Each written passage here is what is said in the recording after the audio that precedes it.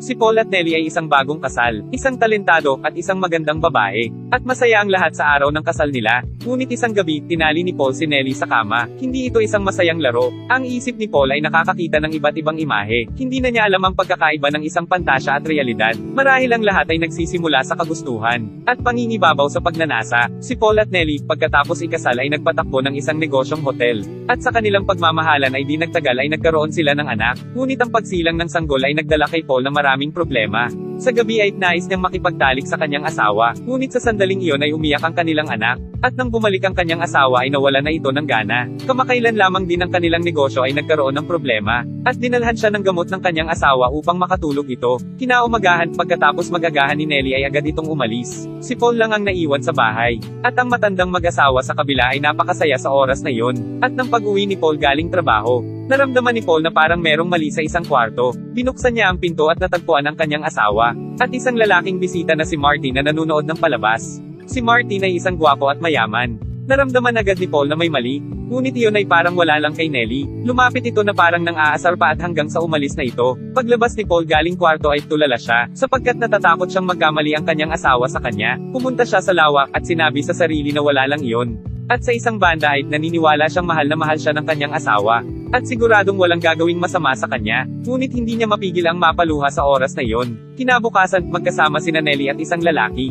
Hawak nito ang ibang gamit ni Nelly upang tulungan siya. Nagawa pa ding ngumiti ni Paul ngunit masama talaga sa kanyang loob ito. Gusto niyang kausapin si Nelly, ngunit mas interesado itong paliguan ang kanilang anak. Naramdaman ni Nelly na parang may mali kay Paul. Agad niyang niyakap ito pagkatapos paliguan ng bata. Tinignan ni Paul ang isang box. At sa loob nito ay merong isang mamahaling bag. Tinanong ni Paul si kung magkano ang halaga ng bag na ito. Ngunit hindi siya pinansin nito, at sinabing tulungan na lamang siyang suklayan ng kanyang buhok. Ngunit si Paul ay patuloy na nagtanong, at sinabi lamang ni Nelly na ang bag ay binili lamang ng isang libot limandaan. Ngunit pakiramdam ni Paul ay mas mahal pa ito doon. Hindi nagtagal nakatanggap ng sulat si Nelly. Nais din ni Paul na makita ito. Sinabi ni Nelly na nais niyang ipadala ang sulat sa kanyang mga kaibigan. Pagkatapos ay pinunit ang ibang bahagi sabay binigay sa kanya. Sinabi ni Nelly na ang kanyang mga magulang ay gusto niyang makita. Nais niyang umuwi at tignan ito. Pagkatapos ay tinawagan ni Paul ang tindahan na binilhan ni Nelly ng bag. Kung magkano ito, at ito ay nagkakahalaga pala sa 4,000. Hindi siya mapakali sa oras na ito, kaya't sinundan niya ang sinakyan ni Nelly.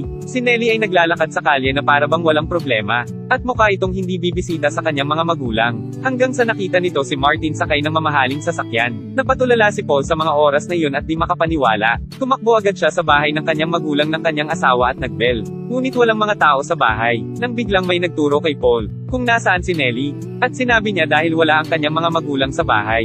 Kaya't siya ay nanatili sa labas. At sinabi din ni Paul na kaya siya andito ay upang bisitahin din ang magulang ni Kelly. Ngunit hindi naniniwala si Nelly sa kanya. Habang papauwi na't iba ang pakiramdam nilang dalawa, hinawakan ni Nelly ang kamay ni Paul at binigyan ng halik. Ngunit hindi pa din naging kalmado si Paul. Tinanong niya ulit si Nelly tungkol sa bag. At sinabi niyang tinanong niya sa tindahan kung magkano talaga iyon. At nagkakahalaga talaga iyon ng 4,500. Tanong niya ka Nelly pero bakit sabi mo 1,500 lang iyon? At ipinaliwanag ni Nelly ang ipinambili niya dito ay napanalunan niya sa sugal. Tumaya siya sa isang karera ng mga kabayo, hanggang sa pinuntahan nila Paul iyon ngunit ito ay sarado. Sinabi din ng tagabantay isang linggo na silang sarado. Nang lumingon siya ay biglang nawala si Nelly. Sinubukan niya itong hanapin. Ngunit nakita nito si Nelly sa lawa, at kasama nito si Martin at masaya silang dalawa. Pagkakita ni Paul dito ay bumagsak siya sa nakita niya. Pagkauwi nito sa bahay, siya ay balisa at wala sa sarili. At tinanong siya ni Nelly kung ano ang nangyari sa kanya. Ngunit hindi siya pinansin ni Paul at sinaraduhan niya ito ng pintuan. Hanggang sa nakapasok ito, at pinilit nitong hinubad ang sapatos ni Paul.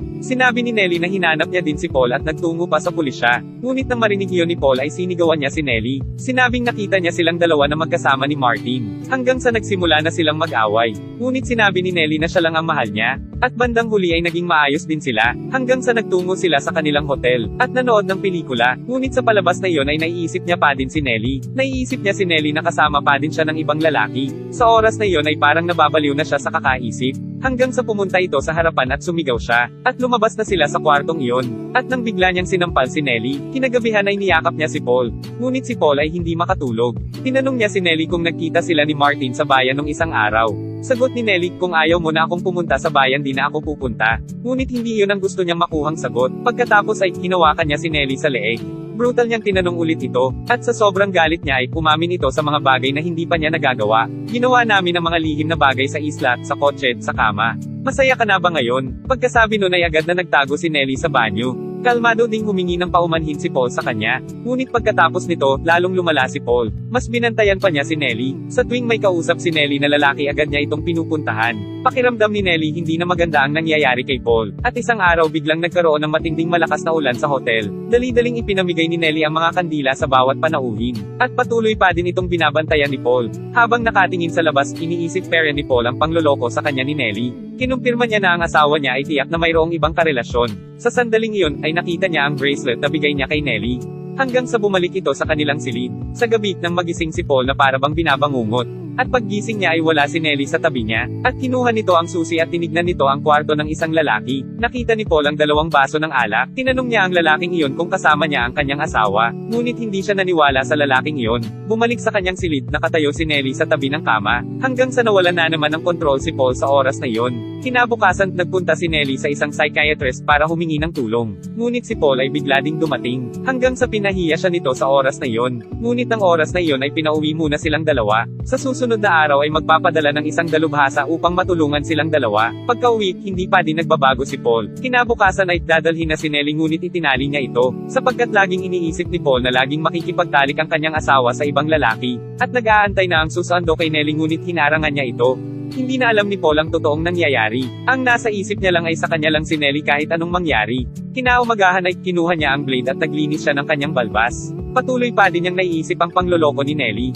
Hanggang sa nangyari na ang hindi inaasahan. Hanggang sa kumalma ulit siya at nakita niya ang dugo sa kanyang muka.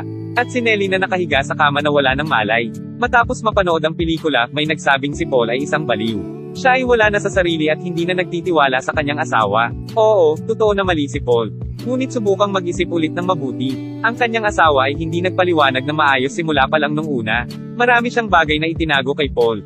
Kaya lalong lumala ang pag-aalinlangan ni Paul. Sa makatuwid kung maaga pa lang ay inaayos na nila agad ang problema, ay kaagad na maayos ito at hindi na aabot pa sa ganitong sitwasyon.